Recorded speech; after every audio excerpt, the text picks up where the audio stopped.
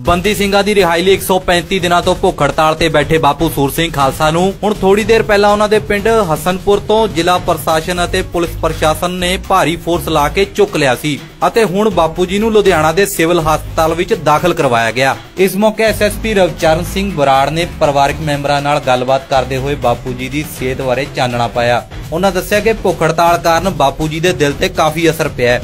ਅਤੇ ਜੇਕਰ ਬਾਪੂ ਜੀ ਦਾ ਇਲਾਜ ਛੇਤੀ ਨਹੀਂ ਕੀਤਾ ਗਿਆ ਤਾਂ ਕੋਈ ਵੀ ਹਾਦਸਾ ਵਾਪਰ ਸਕਦਾ ਹੈ।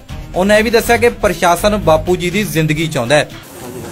ਤੇ ਉਹਨਾਂ ਨੇ ਉਹਨਾਂ ਦਾ ਉਹ ਆਪਣਾ ਜਿਹੜਾ ਹਾਰਟ ਹੈਗਾ ਉਹਦੀਆਂ ਪ੍ਰੋਬਲਮਸ ਆਈਆਂ ਨੇ। ਇੱਕ ਵੈ- ਇੱਕ ਉਹਨਾਂ ਦਾ ਜਿਹੜਾ ਵਾਲਵ ਹੈ ਉਹ ਬੰਦ ਹੋ ਗਿਆ। ਠੀਕ ਫਸਟ ਗ੍ਰੇਡ ਦਾ। ਜੀ ਉਹਨਾਂ ਨੇ ਕਿਹਾ ਕਿ ਜੇ ਇਹ ਕਿਉਂਕਿ ਸ਼ੂਗਰ ਦੇ ਕਰਕੇ ਹਾਰਟ ਤੇ ਇਫੈਕਟ ਹੋਇਆ ਖਾਣਾ ਨਹੀਂ ਖਾਣ ਕਰਕੇ ਹਾਂਜੀ।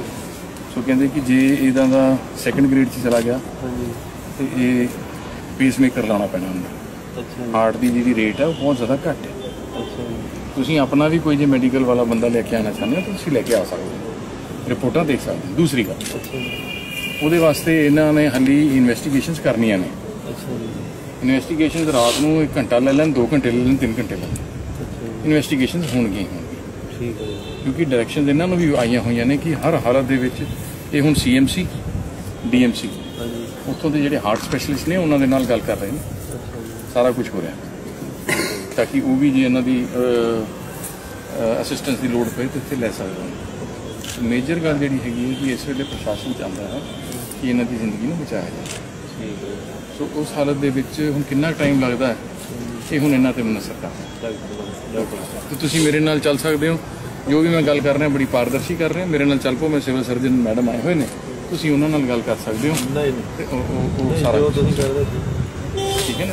ਸੋ ਜਿਹੜਾ ਮੇਨ ਮੁੱਦਾ ਹੈਗਾ ਜਿਹੜਾ ਮੈਂ ਤੁਹਾਨੂੰ ਤੁਸੀਂ ਕਹਿ ਰਹੇ ਸੀਗੇ ਕਿ ਵੀ ਵੀ ਹਾਂ ਆਪਾਂ ਵਾਪਸ ਲੈ ਕੇ ਆਵਾਂਗੇ। ਜੀ ਜੀ। ਬਿਲਕੁਲ ਵਾਪਸ ਜਾਣਗੇ ਲੇਕਿਨ ਮੈਡੀਕਲ ਜਿਹੜੀ ਉਹਨਾਂ ਦੀ ਚੈੱਕ ਹੈਗਾ। ਉਹ ਕੰਪਲੀਟ ਕਰਨਾ ਪੈਣਾ। ਉਹ ਤਾਂ ਉਹਨਾਂ ਨਹੀਂ ਕਰਨਾ ਹੈਗਾ? ਸੋ ਉਸ ਮੁਤਾਬਕ ਇਹ ਕੰਮ ਕਰ ਰਹੇ ਨੇ।